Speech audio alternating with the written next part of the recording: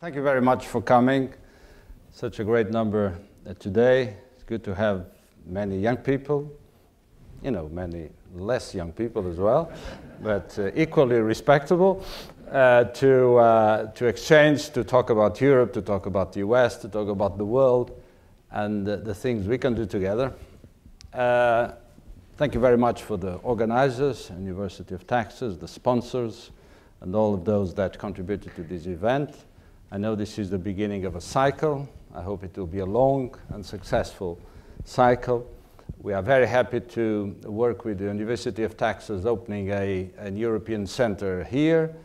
We have about 10 uh, throughout the US, and I'm very happy that we are, for the first time, having one here in Texas, I guess. Is it the first time? Turn to my people. Yeah, it is the first time. So it's even more important that we open a new area of cooperation with um, with this great uh, state uh, of Texas. I was meeting just a while ago the Secretary of State, Hope uh, Andrade, and we were going through the bilateral relationship, and I was again, you know, surprised, positively surprised by the role Europe plays in this state.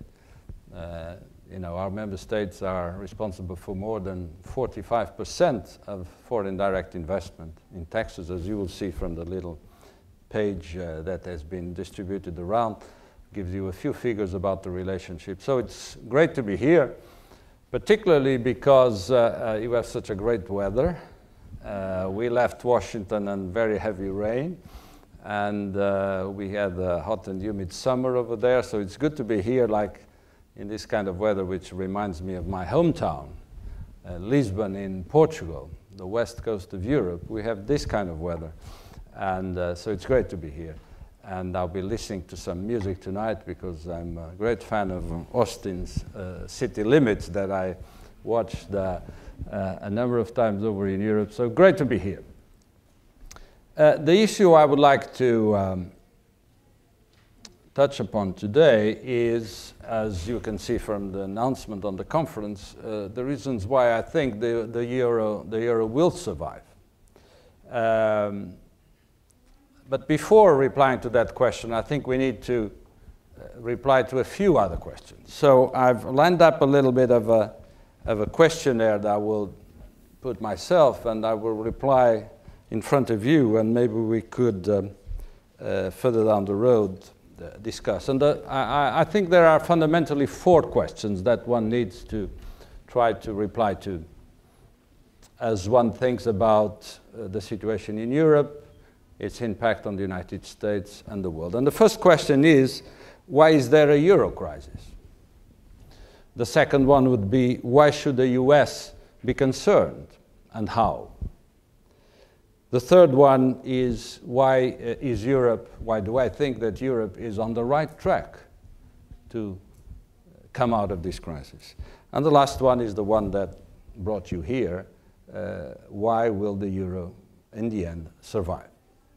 And I think if we don't try to reply to these questions, we, we miss a, a few points about what we're doing here. So why is there a euro crisis? And I'll try to be simple and short, but we are addressing a very complex reality. But I think it's worth for all of you interested in these issues to, to go a bit into the substance of it. Well, the first point I'd like to raise is that what we are having today in Europe as much as in the US, is uh, an aftershock of the 2008 financial crisis, first and foremost. This uh, negative impact of the financial crisis was even more negative in the countries that were more uh, vulnerable in terms, for instance, of public finances. The crisis forced the member states of the European Union to spend a lot in what, what one would consider welfare state measures. You know, supply, uh, support for unemployed, support for companies in difficulty, uh, because the situation was very hard in 2008, 2009. They also had to uh, design and implement stimulus measures, as you did here in the US you know, we were at the end of 2008, very serious situation. We need to inject money into the economy to make it work and to prevent some of the very harsh situations we had in the Great Depression after in the 30s. But we also had to support the banking system, which is sometimes unpopular here and there, but fundamentally the banking system is the, you know, the central system of any economy. If you let it break down, I mean, the whole economy can go down the drain. And this, of course, was uh, required a, a, particular effort from, from countries and, and governments. But also when you have a downturn uh, in, in the economic activity, you lose revenues. So you have an imbalance. You have to spend more, you get less uh, uh, on, the, on the revenue side, so you have an imbalance. And fundamentally, uh, the problems that we are having today in Europe have a lot to do with what happened around the financial, uh, the financial crisis.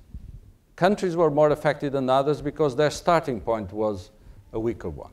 If you take the case of Greece and compare it with Germany, it's obvious that this kind of situations I described are more difficult to handle in an economy which, on top of that, uh, would have other problems, such as, in the case of Greece, uh, uh, uh issues of relatively weak competitiveness as compared to other competitors in the market.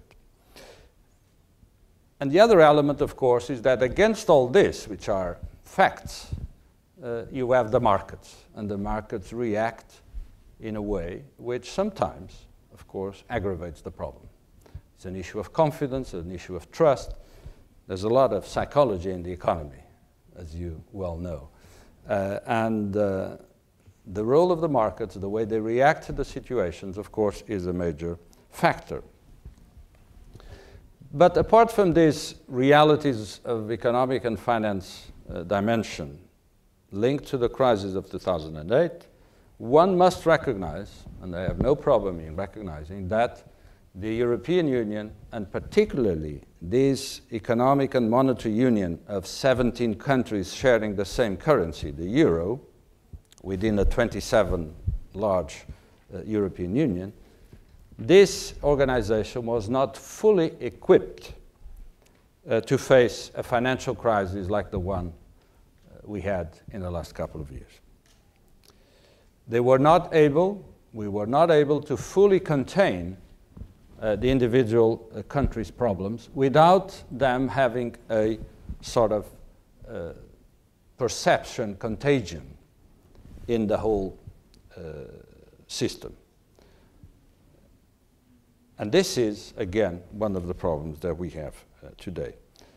Another reason why there is a crisis today, or perceived as such at least, is that we have a decision making which is slower than markets would have expected. Because we are a complex structure. We are 27 countries, 27 democracies, 27 oppositions, 27 parliaments uh, that function in a democratic way. Meaning, you know, you have to discuss, you have to disagree before you agree. Uh, uh, it takes time, it makes a lot of noise. Uh, so it's a complex and sometimes cumbersome uh, decision-making uh, process that requires, most of the cases, a consensus among member states. And this, of course, makes the process of finding a consensus more difficult than in a country which has you know, a more homogeneous environment to deal with. Although, even in countries that are more homogeneous than 27 countries being together, sometimes, as you well know from your particular case, it is not easy, even when you have only one government, one president, two parties, and one Congress, uh, it's sometimes difficult to get consensus. So imagine that and multiply it by 27, and you can understand how difficult it is for us to find solutions, which, of course, in the middle of the crisis, uh, makes things more difficult. And this is, of course, a, a, an element to take in consideration. But also, the crisis surprised all of us uh, by its uh, intensity. We were not prepared, not in the US, not in Europe or elsewhere, to face such a, an, an, acute and serious uh, crisis. And populations and public opinions were not necessarily ready to uh, react to it, to pay the price for, uh, you know, the adaptation to it. And uh, this has created political tension inside our countries. Uh, you know, very, very lively debate, uh, polarization of opinions. And again, I could be describing the situation in the US as I described the one, uh, the one in Europe. But there is a political dimension as well here that translates into the difficulty that the politicians have in Europe, but maybe elsewhere as well, to explain to the voters what is at stake. And the temptation that we sometimes have to oversimplify and to present very complex realities in a too simple way, which sometimes leads people to conclusions that are not compatible with the degree of complexity of the issues that we are talking about. And this is not, does not facilitate reaching consensus that require sacrifices, that require people to uh, you know, put aside interests, immediate interests, in view of future uh, reward. So all this uh, political dimension added to the economic uh, difficulties make even more difficult for any of us, any country, to react to such a serious crisis. But of course, we do all this not in isolation. We do this in an international environment. And of course, the international environment as we speak is not the most positive one in economic terms we fundamentally have a, a slowdown in our recovery, uh, even affecting now the, the emerging economies. It's more difficult to take hard decisions when things are not going well elsewhere. All our economies are interconnected. Uh, we are affected by the situation in China as much as China is affected by our situation. So it's uh, even more difficult to do so in these kind of times. So these are some of the reasons why one can consider that today we have a crisis situation within the euro area.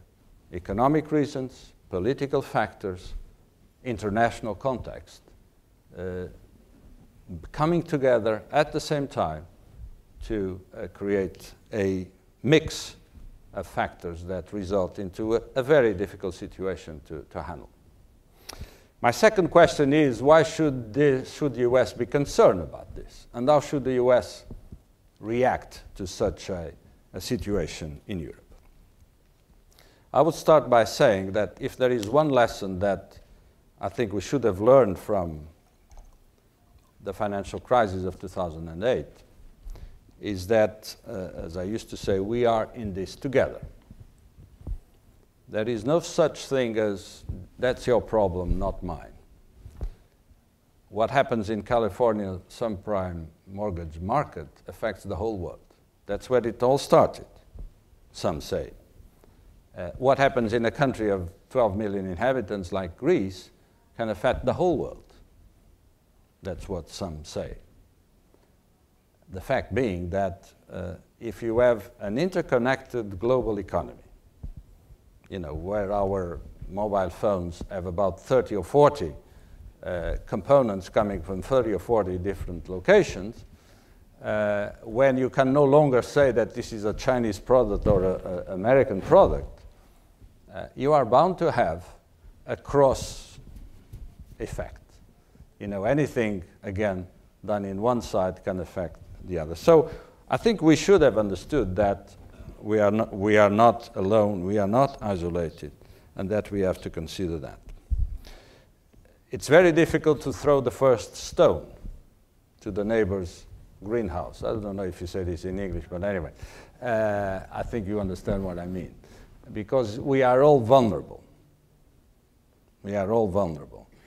Uh, so I think one needs to show a certain degree of modesty and recognize that no system is perfect, my neighbor is not doing better than I do. Or maybe he is today, but things will change tomorrow. So uh, it's very important from our point of view that the US and the EU look at this as a joint challenge that requires joint uh, action and joint solutions.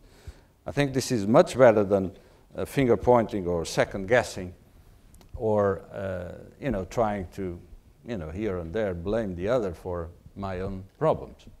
And then I say this, uh, I'm thinking of things I heard in Europe about the US and things I heard in the US about Europe. So again, no one here is more guilty than, than the other.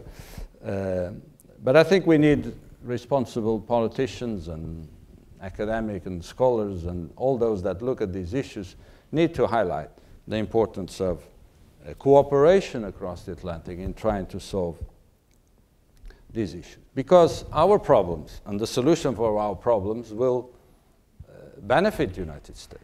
The, the, problems affect, the solutions will benefit. And the other way around is uh, also, uh, also right. Uh, we have committed ourselves to do a number of efforts inside the G20 as a result, as a reaction to the crisis.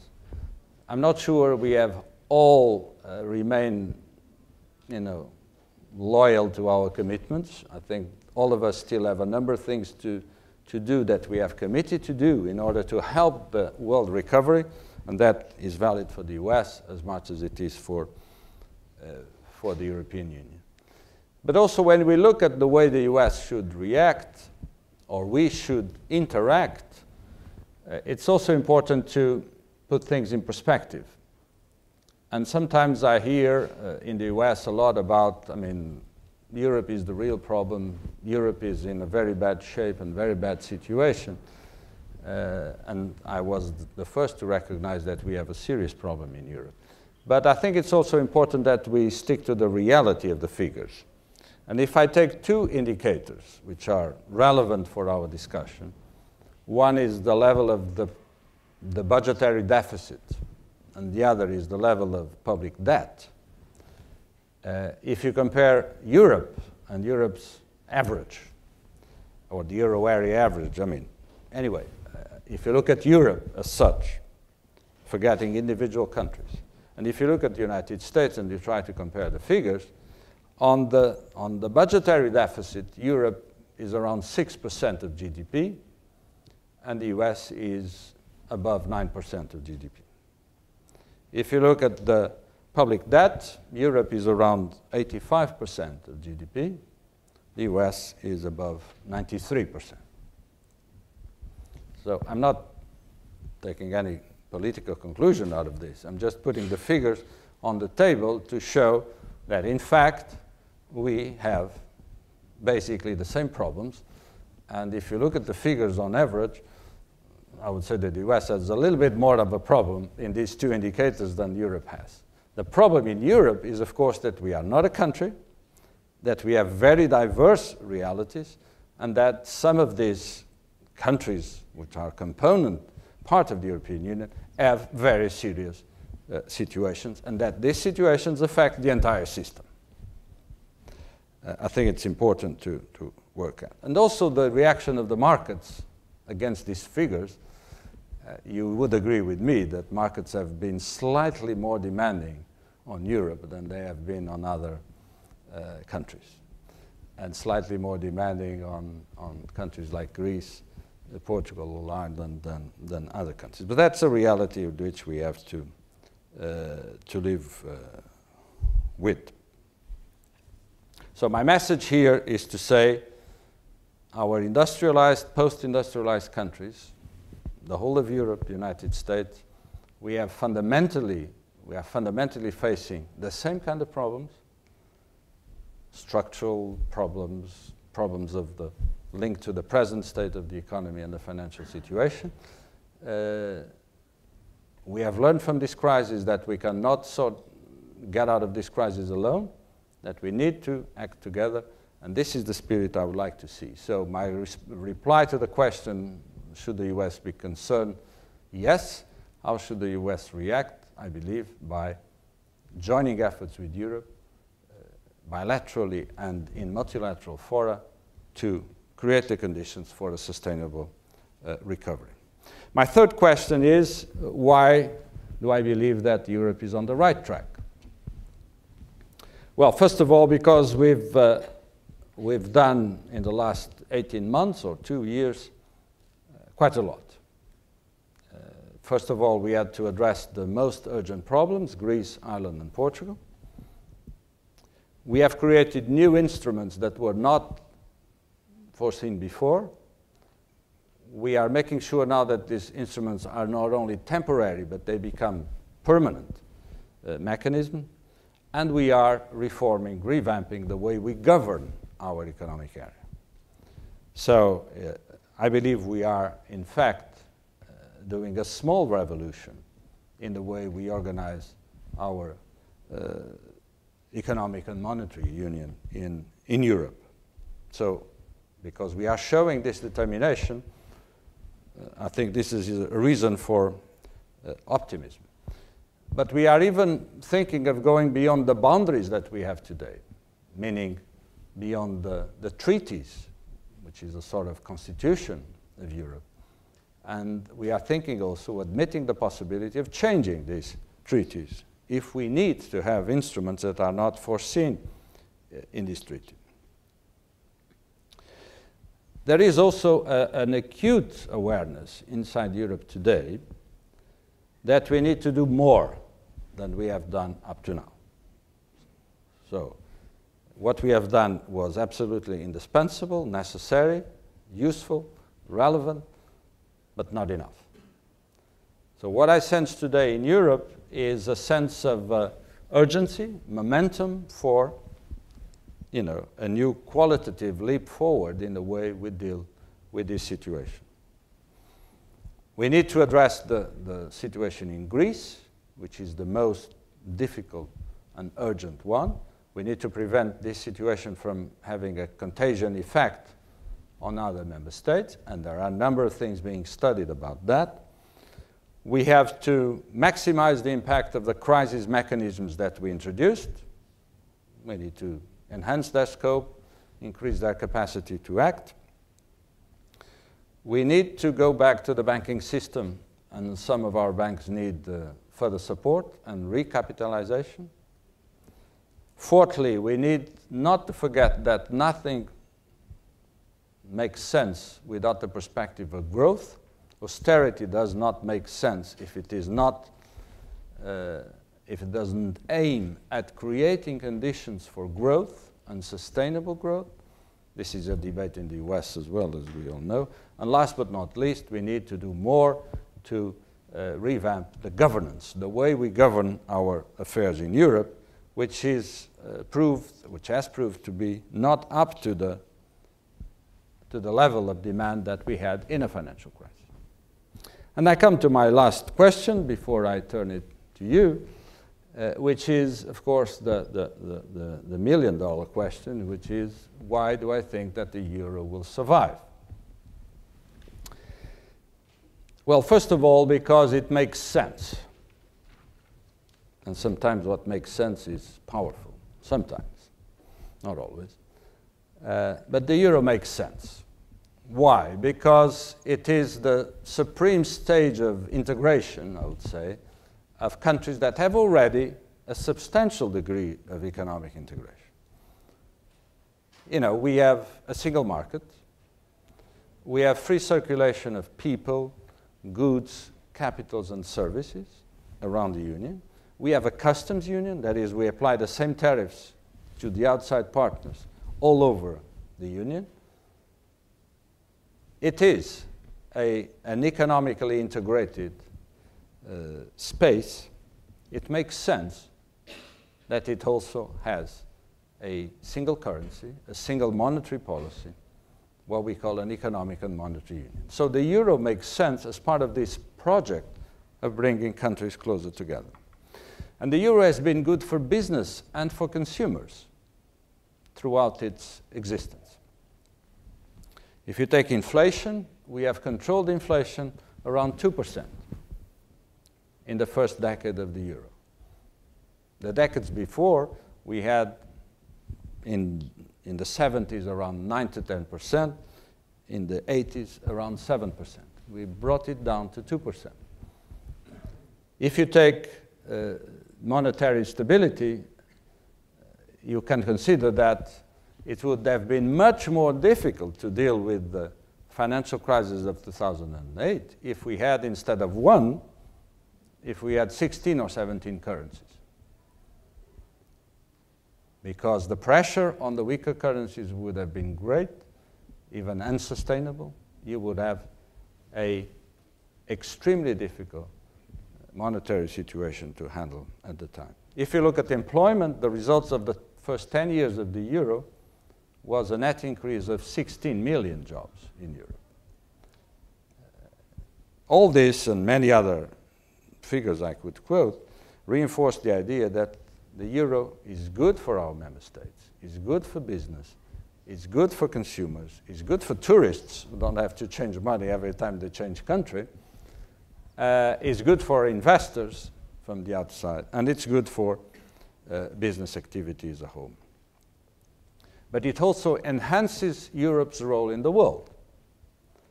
Uh, the euro uh, very soon became the second world currency after the dollar. And the place it has in the world's reserves is more than the addition, than the sum of the 16 countries or 17 currencies that we had before.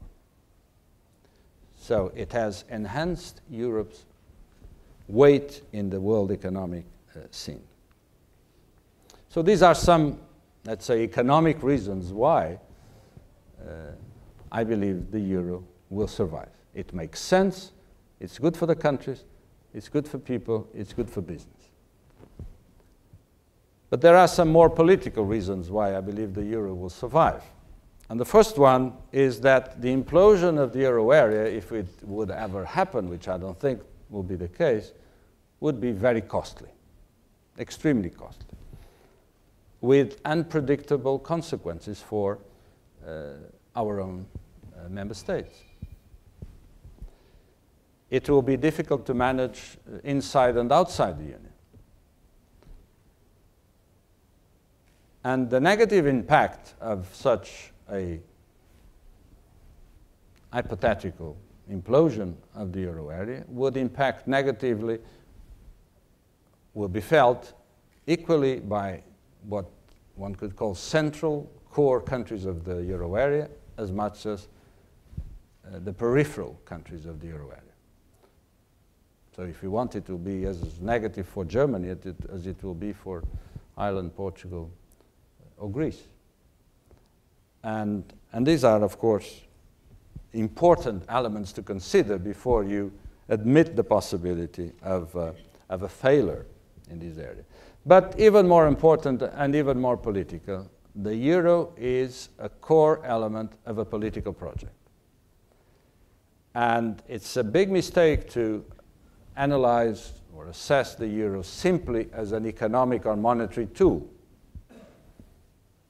Doing that is missing, largely missing the point. The, the euro is uh, an instrument of political union is part of a project that started in the 50s and that has been immensely successful. The project is basically to establish an ever closer union among European countries, putting an end to centuries of wars, millions of millions of Europeans killed by Europeans. So, what we've done in the last 54 years since the end of the Second World War, if you want to start there, with the help of America. The European project is also an American project, and we are, you know, very happy with that and very proud to share this dream with you, if you allow us to share your dream also with, with us. Uh, I think we have common aspirations here. Uh, we cannot let, we will not let the euro crisis put this project into question. And these are uh, extremely important considerations, sometimes missing from uh, you know, a more economic analysis of the euro situation uh, today. So a failure of the euro, an implosion of the euro area, or any scenario of this kind will have huge political consequences. And I believe that our European leaders have that in mind when they say that they will not let the euro, uh, the euro fail. Today, our leaders are discussing. There are many phone calls taking place today, tomorrow, Saturday. We are preparing an important summit on Sunday. Uh, but I see a little bit too high expectations here and there about this summit, the European Council, which is where all the heads of state and government, presidents or prime ministers of the 27 countries join, uh, uh, come together for a meeting. Uh, I'm expecting positive results out of that meeting, but we should not uh, have too high expectations because these processes, as I try to explain, are complex and difficult and take time. But I believe that positive news will come out of Brussels over Sunday. Uh, it, this is a process. This is not one meeting that decides everything and then we have a solution. It will take time. But the message I want to convey to you today is that uh, Europe will come out of this crisis stronger and fitter. Uh, what we are discussing in Brussels today is not how you know, is not what kind of steps backward we, we, we're going to take. What, what we are discussing in Brussels today is how far and how fast do we want to move forward. This is the debate today. There are disagreements, there are different views, different solutions, but always, all, them, all of them basically aim at providing us with more Europe, not with uh, less Europe. And as we speak, I think there's a, there is an increased awareness of the need for us to move forward and move fast. And that's what I expect in the coming days, in the coming weeks, in the coming months out of Europe. So I bring to you a message of optimism, a realism, uh, begging you to understand the complexity of the situation in Europe, sometimes desperately complex, uh, having in mind that uh, fundamentally Europe and the US have the same problems to deal with, they share the same, fundamentally, the same strategic interests. We have a lot of values in common. We have the strongest possible relationship in the world across the Atlantic. So we should try and do our best to cooperate to come out of this crisis, both sides of the Atlantic, in better shape than we start. Thank you.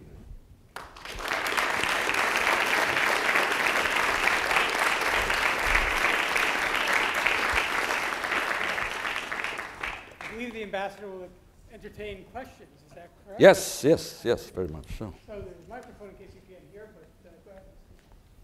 Um, thank you, Ambassador. That was uh, really a wonderful speech. Uh, speech. Thank you very much.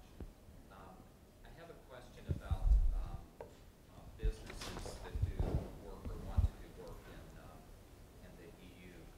Uh, currently, City of Austin businesses have multi-billions uh, invested with Mexican companies, um, thanks in large part to the Consul General, who is here tonight, by the way. Um, and also with uh, Korea, where uh, it surrounds the 10 billion, $10 billion of investment from Korean countries. Um, Earlier this year, um, over 100 businesses in Austin um, expressed an interest in doing work and partnerships with uh, EU countries, and we haven't found a conduit for doing that. Is there uh, a mechanism for doing work with the EU, or do local businesses have to deal with individual countries? Thank you, and uh, I say hello to the Mexican consul, wherever he is. Uh, she, madam. Thank you. Uh, I, I, know you have a strong relationship with Mexico, and I'm very happy for that. I know that NAFTA is producing uh, important results. Uh, we also have uh, agreements with Mexico, and uh, we also look forward to future cooperation with, with Mexico. But I, if I look at the figures, I see a very solid position for the European countries here. Five countries uh, you know, at the top of the league of the biggest investors in Texas, so I'm very happy for that. Uh, I think we have uh, very good results in our cooperation, and I thank you for your interest uh, in Europe. So I would like to say that, uh, I mean, you should contact my people in, in, in, in, in Washington. I think we, uh, we can provide you with all the, the contacts, and they will be ready to facilitate whatever you uh, want to, to do with Europe. Uh, but I must realize that you know, it, it has still a lot to do with member states because they are sovereign countries, independent countries. But I'm sure we can find you interlocutors in Brussels that will help you uh, interact with, uh, with European level. There are business uh, community organizations in Brussels and representatives of member states there, so we can facilitate with our services in Brussels whatever contact you may want to have with. them.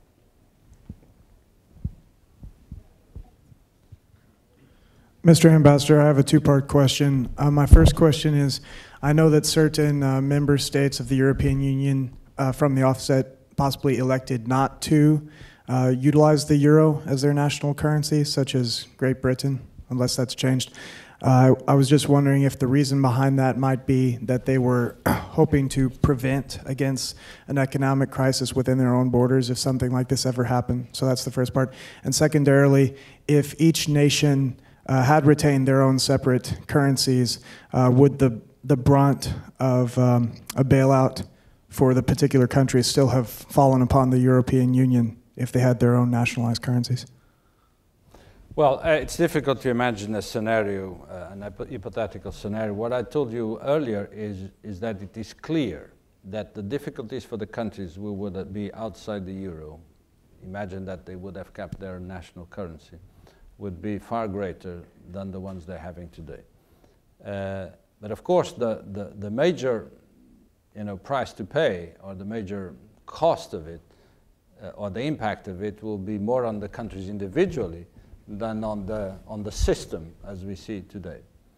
Uh, that is a fact. This being said, uh, we live in the same region, we are integrated economies, so it's very difficult to imagine that a, a bad situation in one country would not have an impact on the others. So I think our preference was clearly to say, let's share the same currency, let's have an economic and monetary union, let's assume uh, the benefits of it, but together with benefits, one needs to know that when times are tough, solidarity must play a role. So this is the, the kind of equation that you have in the, in the economic and monetary union.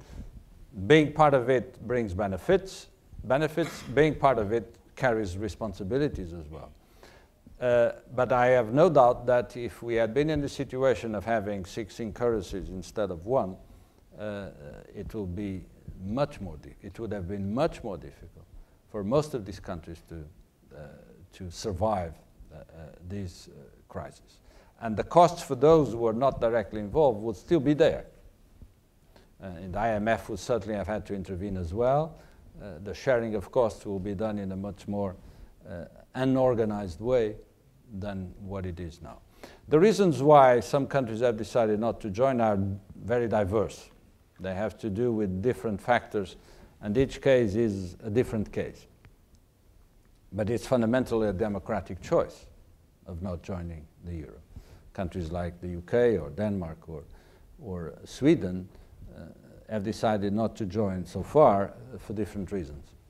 It will be, take too long to go into all the details, but fundamentally it's a national, national choice. Some of these countries have at one point, here and there, almost decided to reverse their decision. Uh, uh, eventually uh, they didn't. But they may still do that. we will see in the future.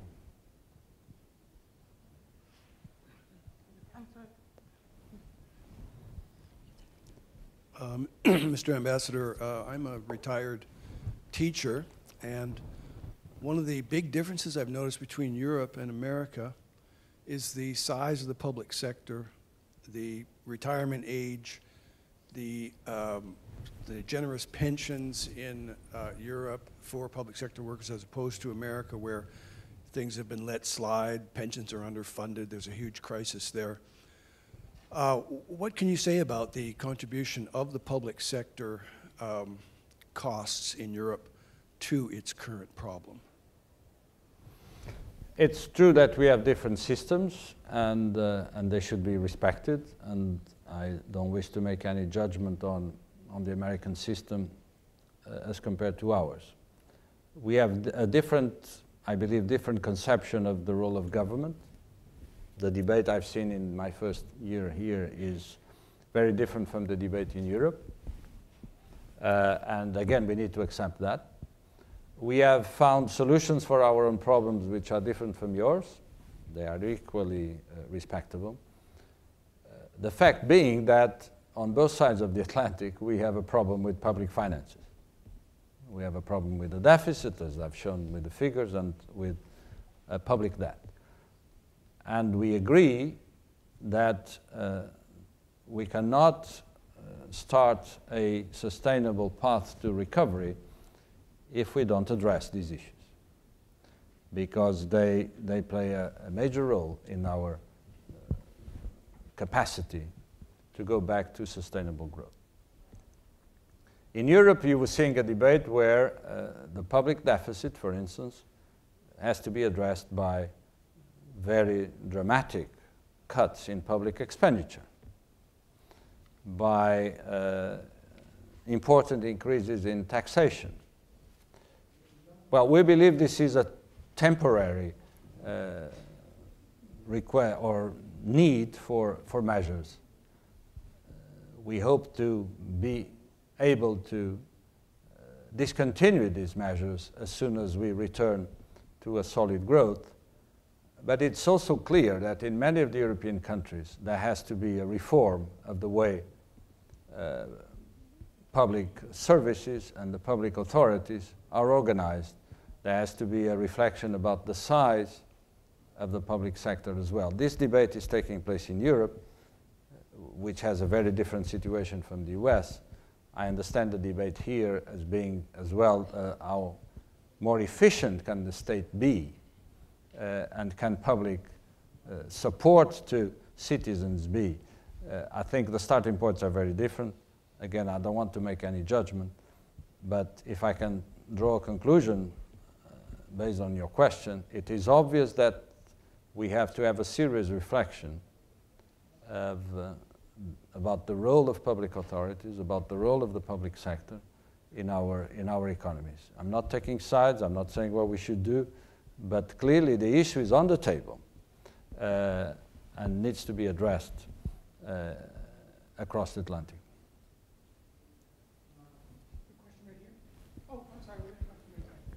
Yeah, thank you, Mr. Ambassador, for coming today. I have a question that's nearest and dearest to we as Texans' hearts, and that has to do with energy. And uh, if you look at the energy uh, and oil and gas plays, especially in the U.S., the advent of hydraulic uh, fracturing and directional drilling has really revolutionized the industry. And so now oil and gas shale plays, which had not typically been viable, are now becoming much, much more viable the discovery of large shale plays in the EU, particularly countries like Poland and Germany, and also traditionally non-resource rich countries like France, uh, have a potential to uh, possibly make e the EU energy independent over the long term. So my question to you is, is this a, a priority for the EU? How, will, how much is the EU willing to uh, court this foreign direct investment possibly from the U.S. to develop the, not only the infrastructure but also the expertise in the uh, the drilling. And uh, is this possibly a way out of uh, the current situation? Thank you. Well, I know the energy is a, a big issue in Texas and uh, uh, also a big issue in the electoral debate in this country prior to the elections of ne next year. So I don't want to get involved into the political side of the debate here. Uh, you may understand why. But you raise a number of important points, and uh, I'd like to uh, inform you about our, our positions and the, the terms of the debate in Europe. I think we have two issues here that we need to consider when we talk about energy. One is uh, energy security, security of supply. That is the extent to which countries are dependent or are autonomous for their energy needs. uh, the extent to which they diversify their dependence or they concentrate their dependence, uh, the extent to which they, they rely on, on you know, their own resources or they favor uh, resources coming from outside. In the case of Europe, it has to do with also with us sharing our resources, uh, uh, completing the internal market, completing interconnection, so that we can benefit from the resources of the 27 member states instead of being uh, individual or regional small markets. We want a big market, interconnected, in which uh, we can fully benefit from our own resources. That's one aspect of it security of supply, independence, autonomy, and all that. The second one is the environment. Energy is linked to the environment. Uh, and then you have different aspects that you can consider, but the most important one in recent years has been the debate about climate change and the extent to which uh, energy contributes or not to the climate change negative effects. And these two elements need to be considered together. And in our debate in Europe, we are trying to right, find the right equation, the right balance between uh, these different uh, considerations. We made a lot of progress, and we are still, we still have a lot to do to complete the internal market of energy. You know, it makes no sense that there is no significant electric connection between France and Spain. It didn't happen in the past for protectionist reasons because there was one market here, one market there. It doesn't make sense any longer. We had issues uh, a few years ago of disruption of supply of gas from, from, from Russia through Ukraine, uh, and there was a big, a big crisis in Europe. And we found that there was no connection of gas supply among member states. So if one country was, was supplied solely from Russia, could not benefit from resources existing next door simply because there was no uh, uh, gasoduct. There was no, you say gasoduct? Anyway, there was no connection between the two. The same for electricity, as I said earlier. So we have a lot to do there to reassure ourselves uh, that we are on the right track. On the climate change side, you know, greenhouse, greenhouse effect, greenhouse gas, uh, you know, they contribute to climate change. We're trying to address that situation by developing renewable resources, by increasing uh, the role of nuclear in, in our energy mix, by bringing together uh, new efforts on research in order to develop clean uh, technologies and all in this debate, shale gas comes in as a, as a new reality, right? It's, it's almost everywhere, it's relatively available, it's uh, an indigenous resource, it's ours, you don't have to import it. Uh, so it can be very attractive, and uh, it's a new, a new reality. But again, there you have to look at the two sides of the issue. There are some environmental issues there. Uh, the technology is not maybe not yet fully developed, and we need to invest there. So I will put this, the, the shale gas case, as a good example of uh, the need to bring together different inputs into the discussion if you want to find the right, the right uh, solution. The climate today in Europe is, of course, open and favorable to look at the shale gas as, a, as an alternative, but there are, in many countries, concerns expressed about the environmental impact of the, the existing technologies to uh, explore uh, shale gas. So, to be continued, uh, very important for the future of our energy uh, mix. And uh, fundamentally, again, you know, we are facing the same problems as the US. How do we square the circle in this particular case? And again, I won't comment on the US. On Europe is a big issue, and we are addressing this. It has foreign policy implications, clearly. If you think of Russia, if you think of, uh, of the Gulf countries, if you think of Algeria, um, if you think of dependence from the outside, uh, it's a fascinating subject. If you are studying energy or interested, I uh, congratulate you. It's, uh, it's a very important uh, policy area. Question over here? Sorry. Thanks for coming. Um, we appreciate you being here today. I wanted to ask you really briefly, I don't know if you'll be able to answer this question, um, but many economists have argued that because Greek default is inevitable, that Greece should stave off accruing the additional uh, expenses of trying to, to stave off a debt that is uh, inevitable in, in the view of some economists. And I wanted to ask you if allowing Greek default is an option that's being debated as something on the table. And if it's not, I would like for you to justify why that should not be debated or why that should not be considered. Well, I told you earlier that one of our priorities today is to um, is to deal with the Greek crisis, the Greek problem or the Greek issue, in a way that uh, prevents it from having a contagion effect on, the, on other countries, from having a, an effect on our system.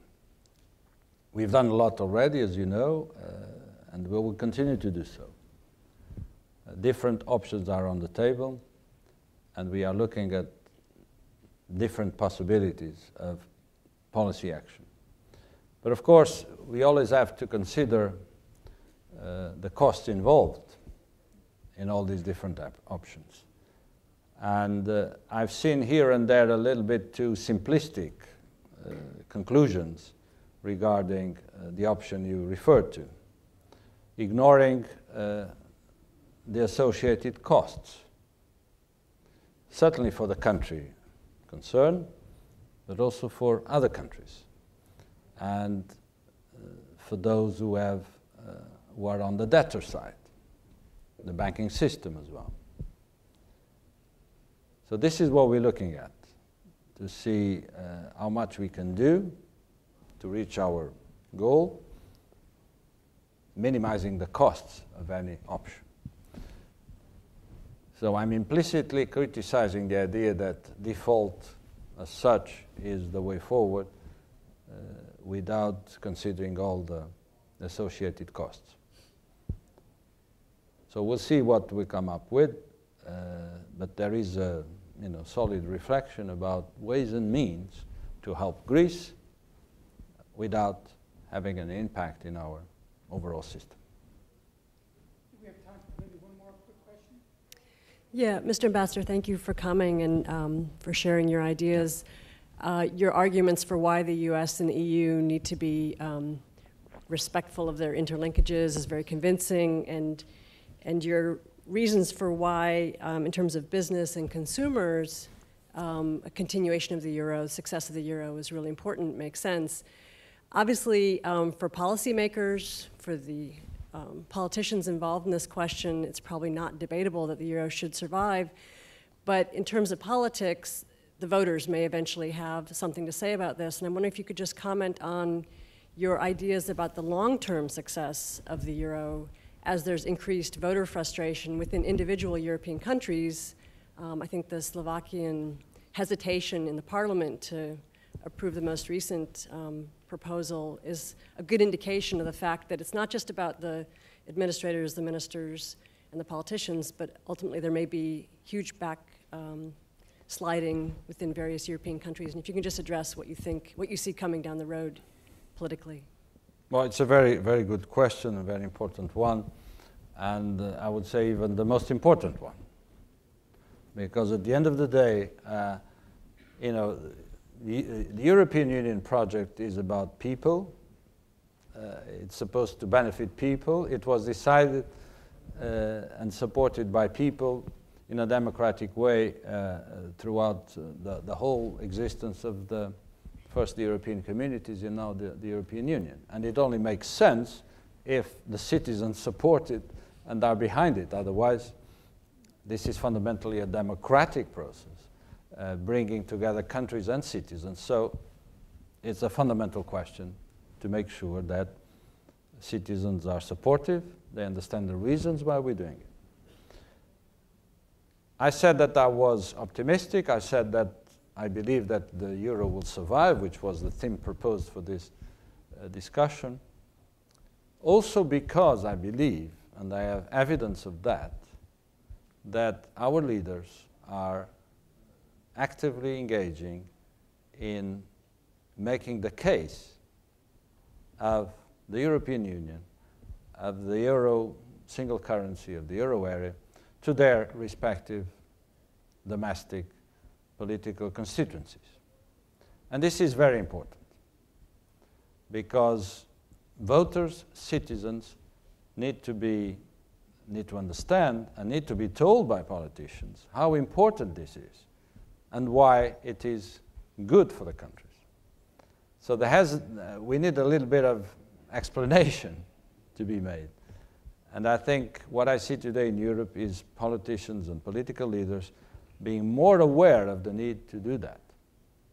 Uh, if you see uh, the evolution of public opinion in a number of member states, you would find, you know, in some areas, more doubts about Europe now than maybe a few years ago. But you also see uh, more doubts uh, in public opinion about governments as such and the political establishment as such. So it's not an exclusive of, of Europe that people are sort of criticizing or asking questions or doubting. You know, you look at the popularity of our uh, politicians or um, parties or parliaments in our countries, and uh, you see that there is overall a, a questioning of the political establishment.